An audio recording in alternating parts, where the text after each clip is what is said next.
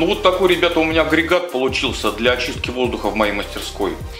Делал я его, как вы видите, из OSB, из обрезков э, тех листов, которые остались у меня от обшивки моего дровяного сарая. Ну, пожалел я, честно говоря, что связался с этим материалом, потому что работать с ним очень-очень тяжело, практически невозможно. Поэтому а, получилось по принципу, я его слепил из того, что бил, а по той, что бил, то и, понимаешь ли, подключил.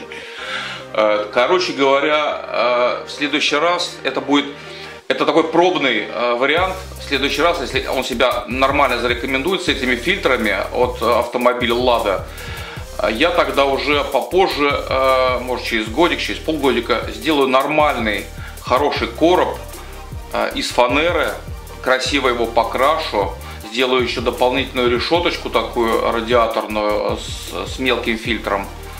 Ну, в общем, э, переделаю его э, под эстетику. А сейчас пока буду пользоваться тем, что есть. Спасибо всем за просмотр. Всего доброго и до новых встреч.